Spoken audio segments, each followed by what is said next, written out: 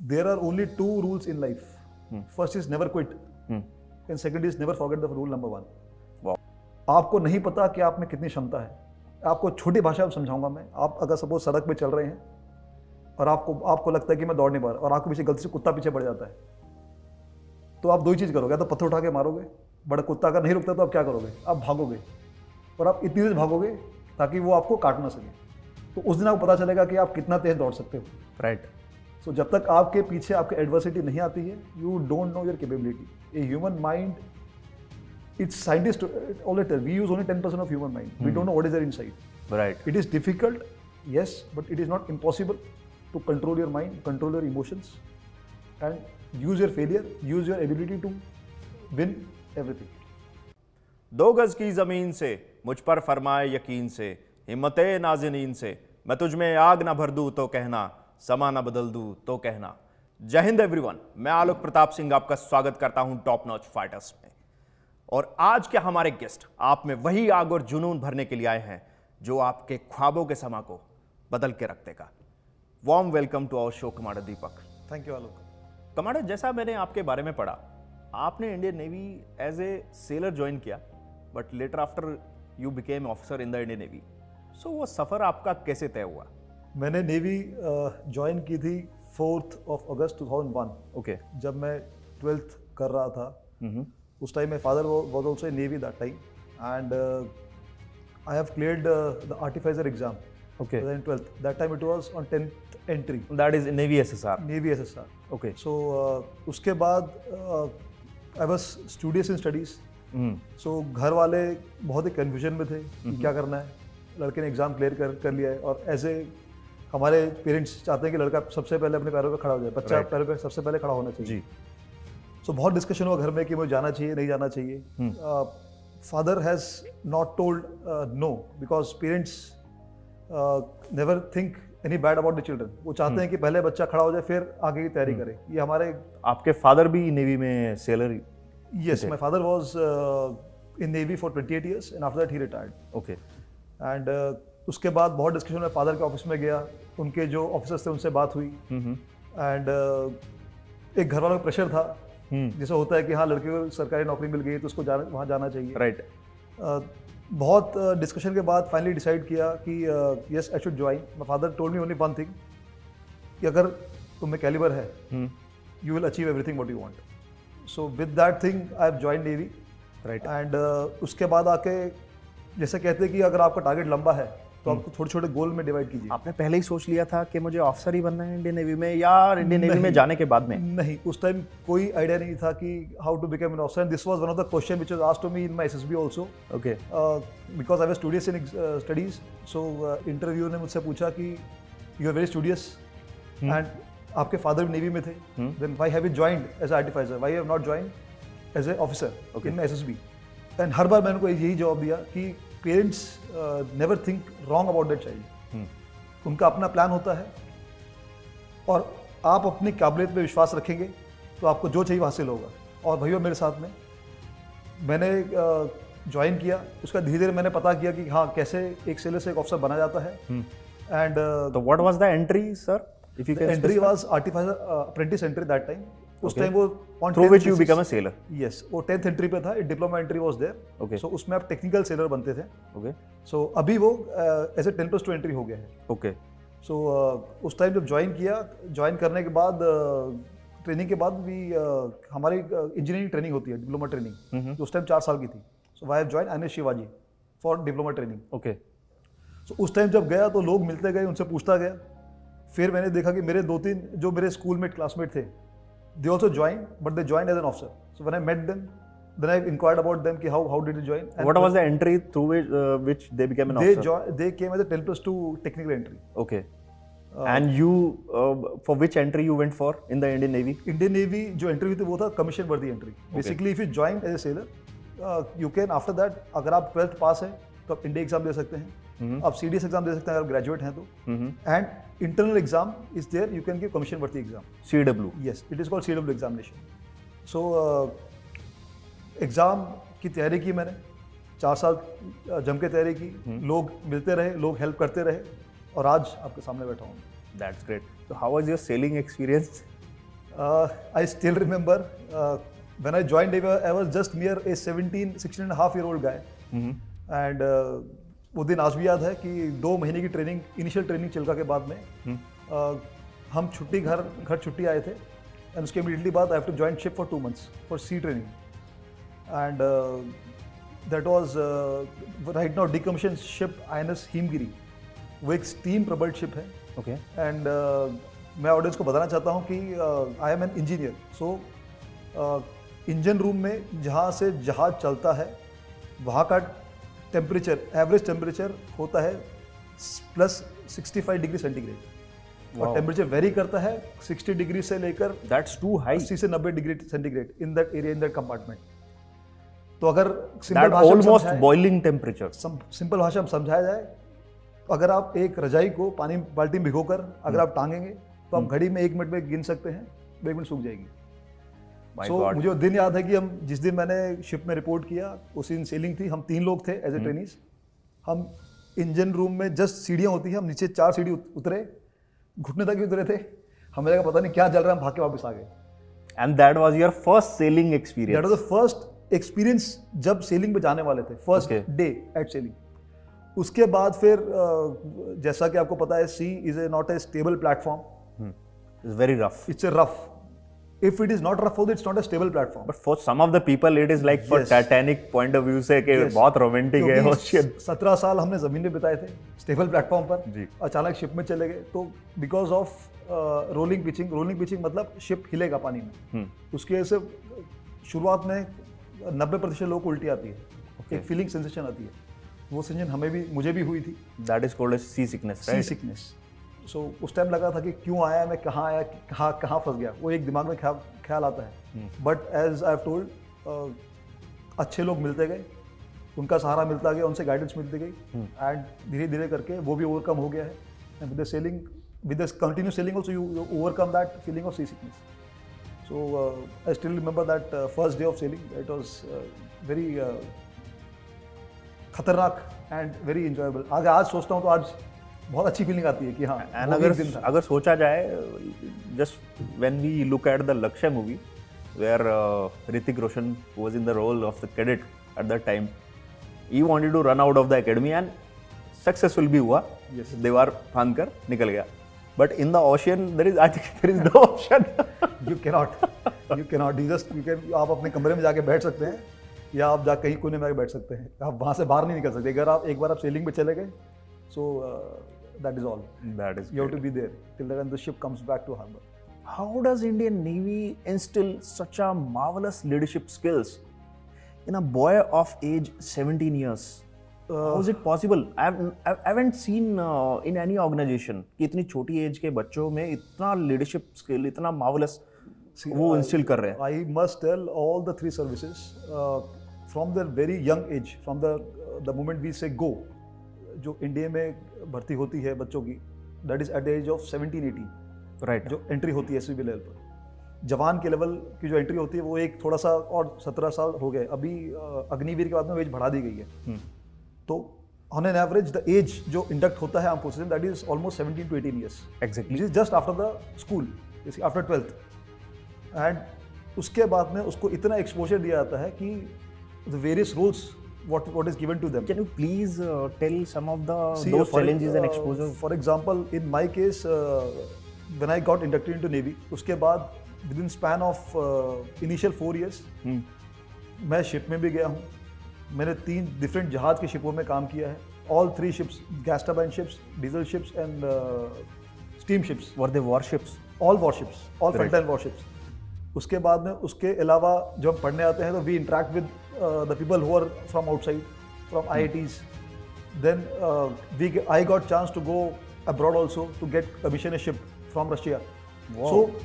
Within very short span of time आपको हर एक रोल से निकाला जाता है। So that tomorrow you are ready जब एक जवान जब एक लड़का भर्ती होता है उसका एक ही मकसद होता है। दैट मकसद is to win a war to kill Wow. just to continue to uh, accomplish the task you have to be master in all the trades. So that is that exposure is given from the day one and training पे बहुत ही ज़्यादा ध्यान दिया जाता है in armed forces in all the three forces चाहे वो आर्मी हो नेवी हो एयरफोर्स हो for that one day if the day calling is there then we should able to perform our duty so that's why जो आपने पूछा कि very at young age we exposure is given to every one so that he is ready for that final day एक submariner की life को जब हम देखते हैं बाहर से, और बाहर से बहुत फैसिनेटिंग लगती है commander but how challenging is it in the reality see let be tell you जिससे हमारे in our country most of the people know maximum about army army exposure because हमने लॉट बहुत सारी मूवीज़ भी बनाई है आर्मी के ऊपर।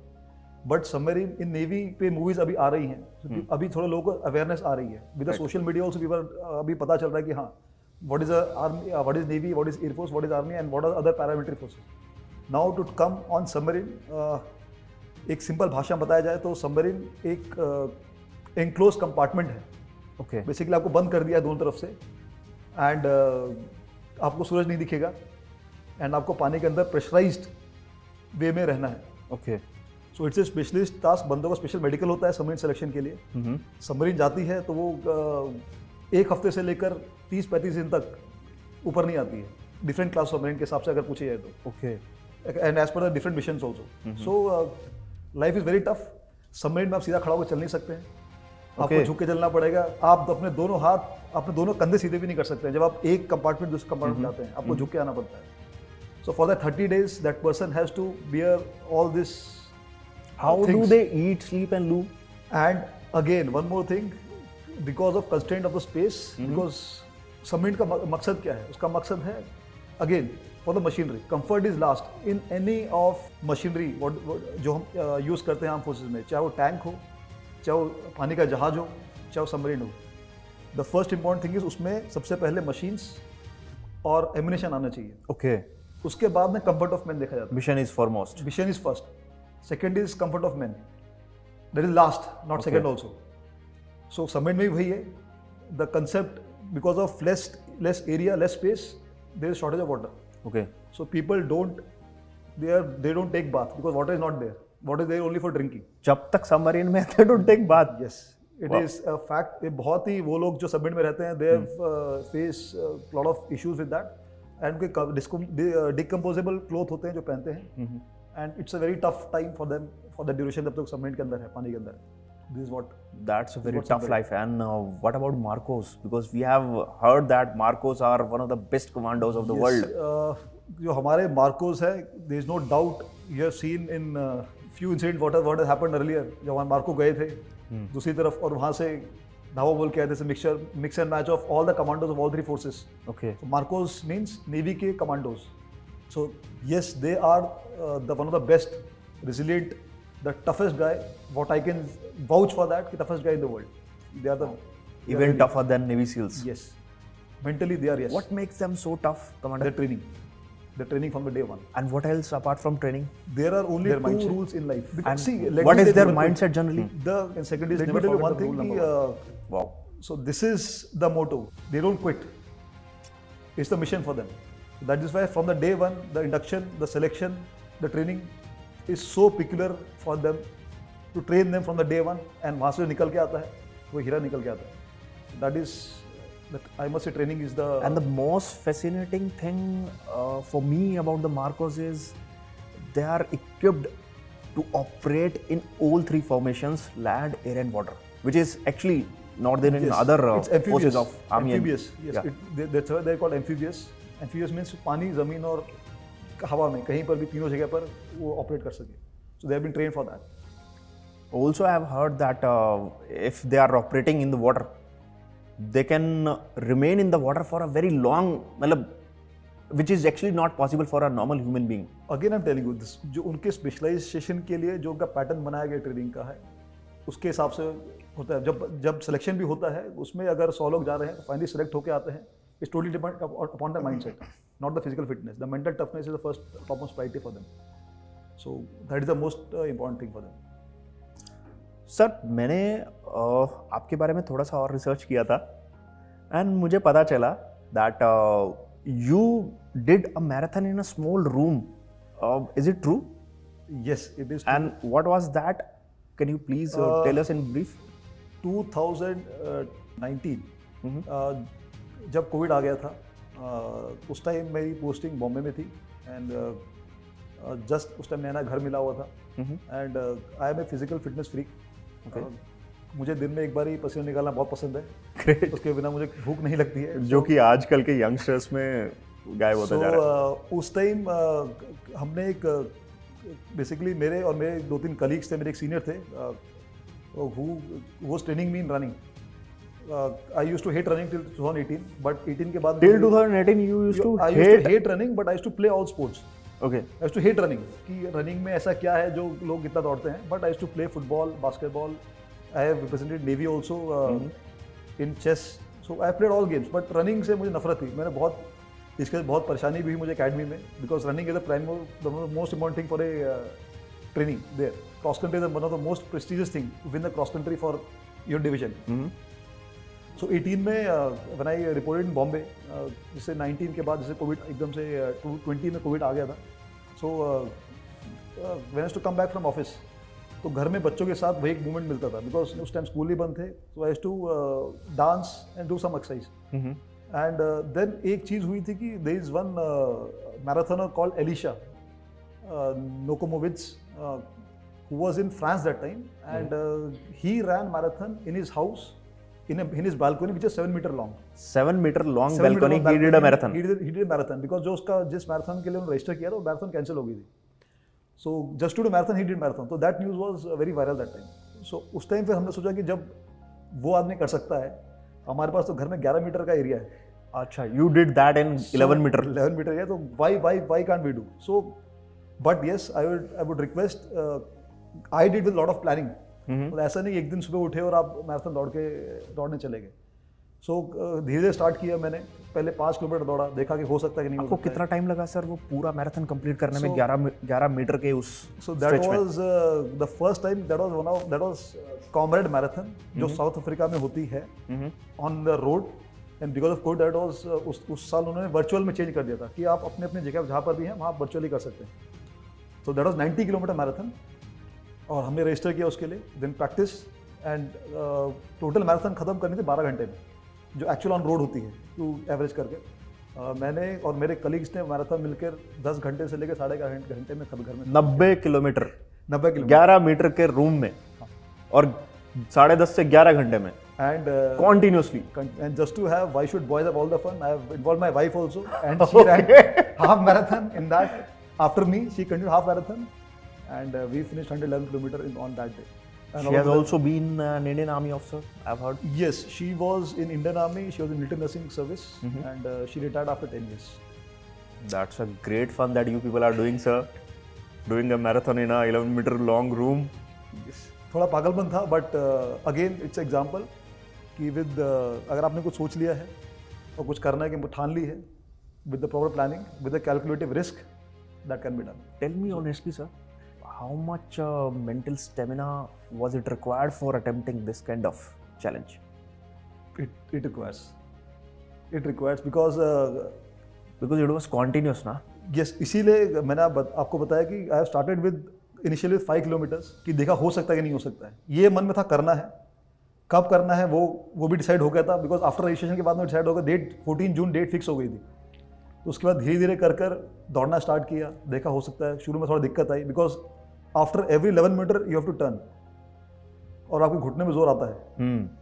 So in that eleven and half also it become monotonous it become very monotonous because that run I started at night वही दीवार बार बार दिख रही है एंड वापस। से अच्छी बात थी कि आप जिस घर में दौड़ रहे हैं आपके नीचे लोग परेशान हो जाएँगे। तो लकीली मेरे नीचे मेरा कोर्समेट था। ओके तो I did not had any problem any time for the COVID period of time and yes it required because the race I started I along with my colleagues in the respective house we start at night twelve o'clock and रात को दौड़ना start किया। And family का involvement था। बच्चे रात को सो रहे थे बट सुबह पाँच बजे उठ के वो भी चेयरिंग करने लगे so it also motivates you to finish and it was very enriching experience so commander from two thousand eighteen when use to hate running then to qualifying for Ironman championship how is it possible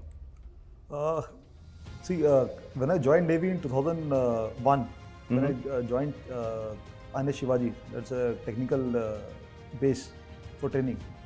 वहाँ पर पहली बार मैंने देखा triathlon क्या होता है। तो Ironman basically is a company which is a triathlon is sports Triathlon means you have three sports.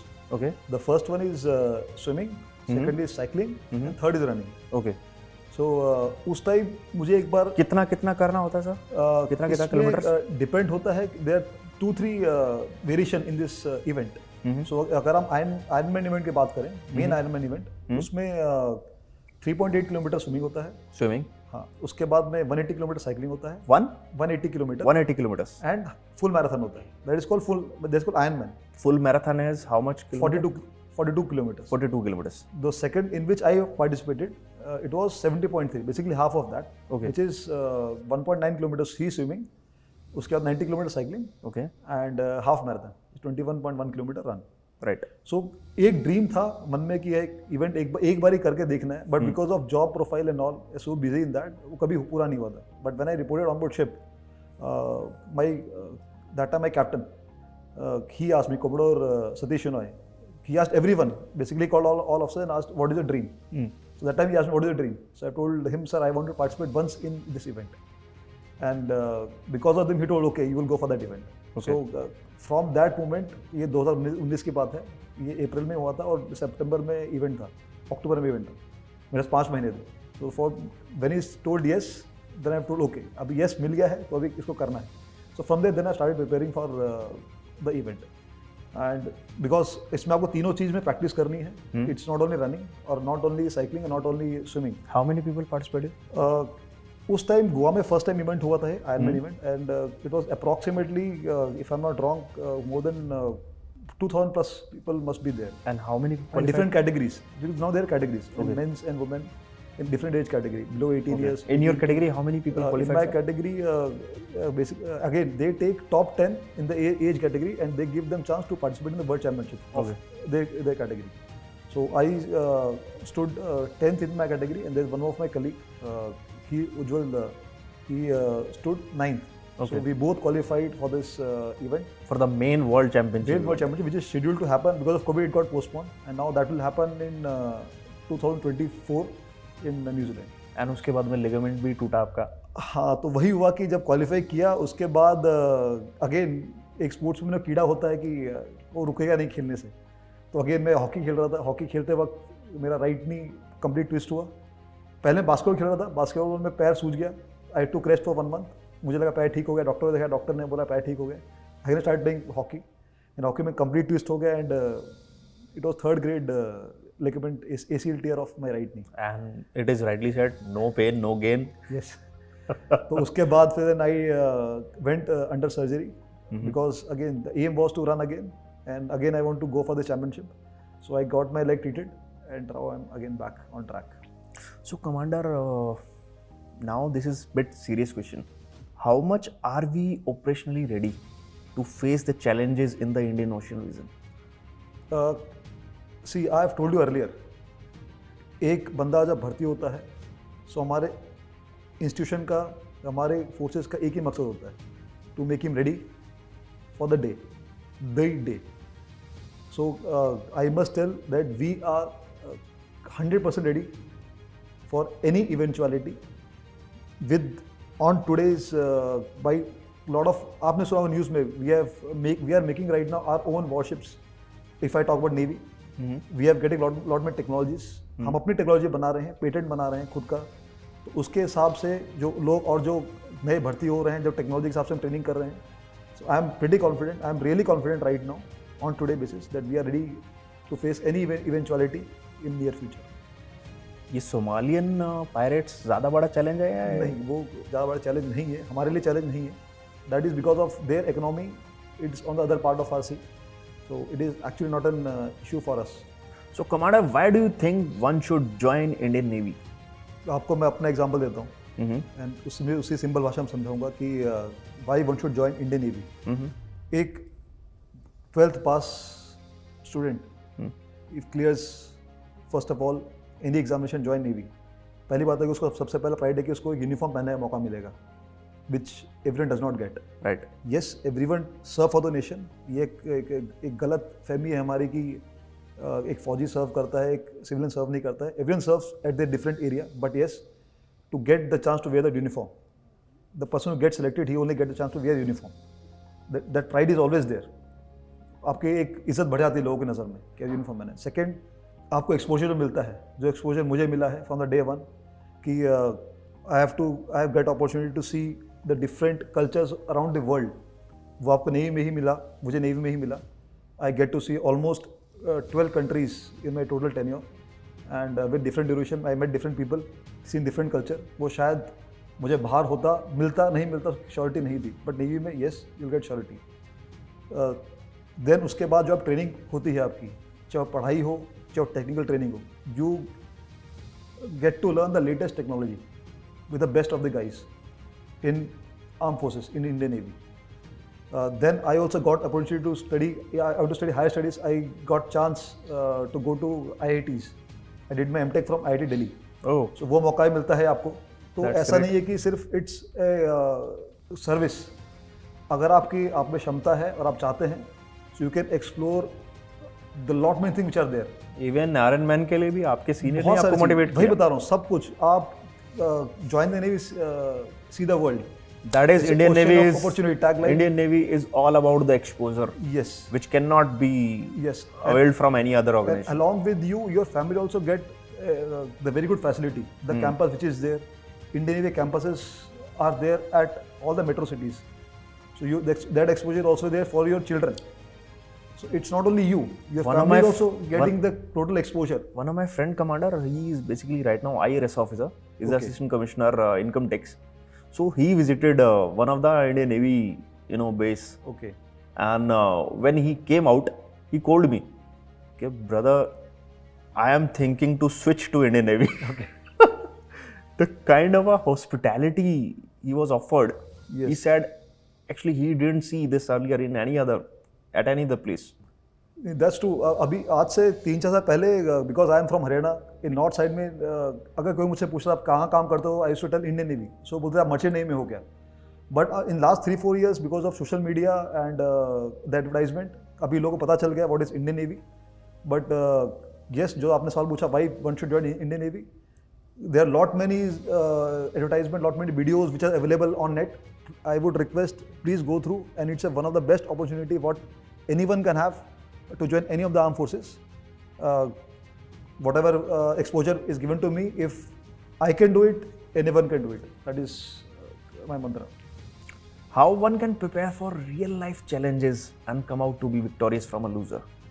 What what do you want to suggest see इस पे जो मेरा टेक है uh, मेरा टेक ये है कि whenever we talk we never discuss about the failures we always talk goody goody things we always talk positive things कि बी पॉजिटिव बट जब तक आदमी ने कोई फेलियर नहीं टेस्ट किया होगा उसको जीत का मज़ा कभी कभी नहीं आएगा। उसको पता चला कि मेहनत क्या होगी।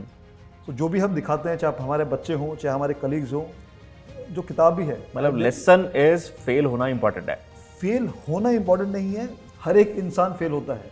From that failure what he learns that is very important okay there will be point one percent point one percent people जिनको जिन्होंने फेलियर कभी देखा ना हो। I- मेरे लिए ज़ीरो परसेंट ऐसा कोई बंदा नहीं जो फेलियर नहीं देखा होगा। But we don't discuss we don't learn और जो आदमी लर्न कर गया फेलियर से because failure is always a part of success without failure success is not there कोई मतलब सक्सेस हो गया, बिना फेल हुए तो उसको शायद नहीं पता कब फेल हुआ है।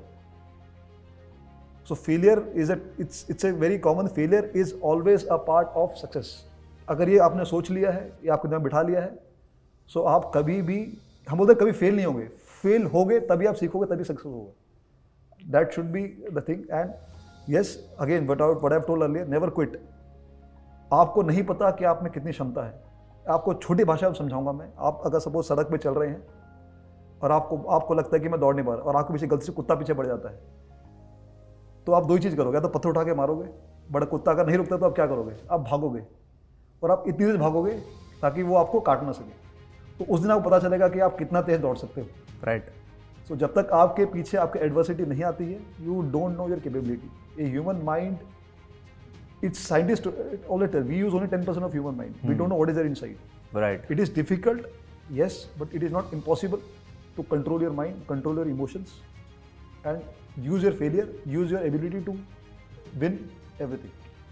That is a mantra, कि माइंड को स्ट्रॉन्ग बनाना बहुत ज़रूरी है। There lot many ways there lot many तरीके lot many is thing which is available to make yourself strong सबके लिए सब कुछ काम नहीं करता है कीप ऑन ट्राइंग कि आपके लिए अच्छा क्या है which thing motivates and again हम बोलते हैं passion there is nothing call passion it is always discipline which gives you one notch ahead of from other, other people. You have to make a routine for you. Mm. You have to make a discipline for you. Mm. Then only you will be able to achieve whatever you want to achieve.